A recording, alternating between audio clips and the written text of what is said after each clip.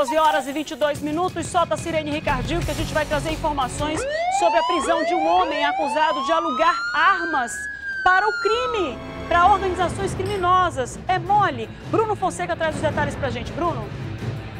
Olha só essa, Márcia. Dione Araújo da Silva, de 30 anos, ele foi preso pela Polícia Militar na noite desta terça-feira por suspeita de alugar armas de fogo utilizados em homicídios na zona oeste de Manaus. O caso foi denunciado anonimamente para a corporação da polícia. O suspeito foi preso no Alvorada. Ao ser abordado pela Rocan, ele estava com duas armas de fogo de calibre 38 e duas munições intactas. Uma das armas tinha a numeração suprimida as armas e o suspeito foram encaminhados ao décimo DIP, onde ele foi autuado por porte ilegal de arma de fogo de uso restrito. Agora virou moda aí alugar arma para todo mundo ali da Zona Oeste? Foi preso, já era para ele. Eu volto com você no estúdio, Márcia. Obrigada, Bruno. E se o cara não quiser devolver a arma que está alugada, ele vai reclamar com quem? Ah, pelo amor de Deus. 12 e 23, pelo menos sete assassinatos aconteceram de ontem para hoje na capital. Será que teve algum assassinato a ver com essas armas? Quem vai trazer as informações para a gente é o Juscelio Paiva, que vai trazer os detalhes para a gente aqui na tela. Juscelio.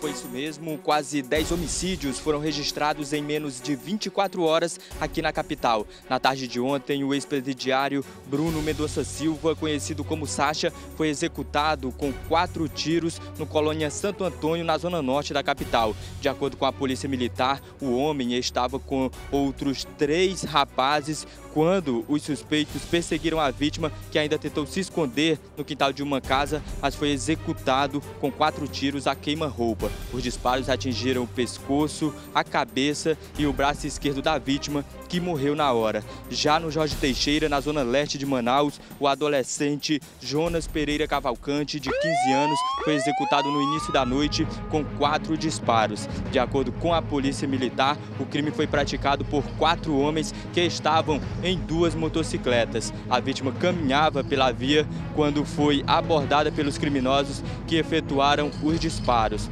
Já na noite de ontem, um homem de 26 anos foi executado com três tiros durante um latrocínio, roubo seguido de morte na comunidade Jesus Me Deu, no Terra Nova 2, na zona norte aqui da capital. De acordo com a Polícia Militar, três homens ainda não identificados são suspeitos de praticarem o crime. Ainda na noite de ontem, um homem não identificado foi morto durante uma troca de tiros com policiais militares da 8 Companhia Interativa Comunitária no São Jorge, na zona oeste da capital. De acordo com a polícia militar, o homem e mais outros dois suspeitos faziam arrastão na área do São Jorge quando foram perseguidos. Durante a ação, um policial militar e o outro suspeito foi baleado. Eles foram levados ao Hospital e Pronto Socorro 28 de agosto, na zona centro-sul aqui da capital. O terceiro suspeito conseguiu fugir. Eu volto com você ao estúdio. Obrigada, Juscelio Paiva. Tem mais. Um policial foi baleado durante uma tentativa de assalto na Cidade Nova. Os dois suspeitos do crime foram presos. O Juscelio, que não trabalhou pouco, não trabalhou foi muito essa manhã, também vai trazer essas informações pra gente agora aqui na tela. Juscelio, é com você de novo.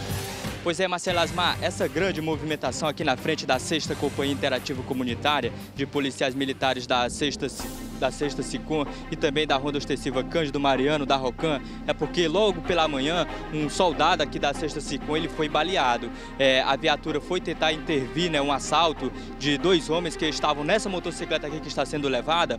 Os dois criminosos estavam realizando um assalto aqui em uma parada de ônibus, aqui nas proximidades da Sexta Sicom, quando uma viatura que fazia um patrulhamento de rotina foi tentar intervir na situação e os dois criminosos já foram atirando. Eles balearam acabaram acertando um soldado da Polícia Militar, é, que felizmente o disparo atingiu o colete do militar, é, que não foi aí atingido com o disparo, apenas acertou o colete. Depois disso, os policiais da Rocan foram acionados e iniciaram a perseguição. Três pessoas foram detidas. Um deles é apontado como suspeito que conduzia a motocicleta aí, um dos envolvidos em atirar no soldado da 6 Sicom. Um revólver de calibre 38 com tambor para seis munições, com duas munições. Como é foram as diligências aí da Rocan a partir do momento da notícia? A gente escutamos via rede rádio que um colega de farda tinha sido alvejado no momento em que de estava efetuando um assalto. A gente é, fizemos um patrulhamento nas, nas áreas adjacências quando a gente avistou uma moto CB300 amarela com indivíduo que, ao avistar a viatura, é, adentrou um estabelecimento comercial em atitude suspeita. A gente verificamos, fizemos uma abordagem encontramos um armamento e a motocicleta. A ocorrência foi apresentada aqui no 6 Distrito Integrado de Polícia. Inclusive, os policiais agora fazem a diligência. Tem uma testemunha aqui dentro da viatura que eles vai ser ouvida ainda aqui no DIP, juntamente com os suspeitos envolvidos nessa situação. É, os nomes ainda não foram divulgados porque a ocorrência está em andamento. No decorrer do dia, os nomes devem ser divulgados, mas um foi preso, mas dois foram detidos para prestarem esclarecimento aqui sobre é, o assalto aí, a tentativa de assalto que terminou também em um policial baleado. Tá aí, ó, o homem que foi apresentado aqui, segundo a Rocan, esse rapaz, ele é uma das pessoas que estavam aí envolvidas, né? Ainda não divulgou o nome, porém ele já vai prestar esclarecimento sobre a situação aí que vitimou o PM. O soldado aqui da Sexticom, ele permanece internado no Hospital e Pronto Socorro Platão Araújo, na zona leste aqui da capital, e a polícia aí segue as diligências para tentar identificar todos esses homens né, envolvidos aí, já tivemos ontem mesmo, né, Marcelo uma situação de tiroteio entre polícia e suspeito de assalto lá no São Jorge, que terminou na morte é, de um dos criminosos. E agora mais a situação, agora pela manhã desta quarta-feira, os criminosos também aí atirando contra a polícia militar aqui do Amazonas. Mais informações no Jornal em Tempo, nós divulgaremos os nomes aí e direitinho de quantos realmente participaram desse crime. Eu volto com você ao estúdio. Muito obrigada, Juscelio Paiva. Nessa hora o caboclo pensa, me lasquei, né? 12h28, vamos lá rapidamente aqui, você que tá aí com o celular, pegando na mão o celular, bate a foto agora. Você tem que fazer uma selfie agora com a gente aqui no fundo, com a TV no fundo, com essa barca para poder ganhar é, uma barca para um casal.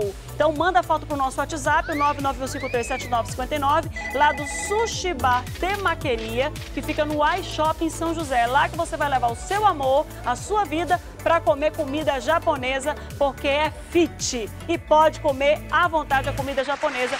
Sushi Bar Temaqueria. Então, enquanto você faz a foto, tô ligado com você que tem do outro lado, vamos fazer o sorteio do nosso agora premiado. Tá aqui o bolo da vovó Tereza. A gente vai para Santo Agostinho, compensa, diretor?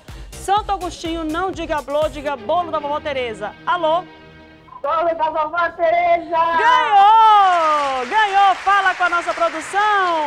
12h29, pessoal ainda vai batendo foto da, do, da barca, hein? Tá acabando, tá acabando, tá acabando? Acabou!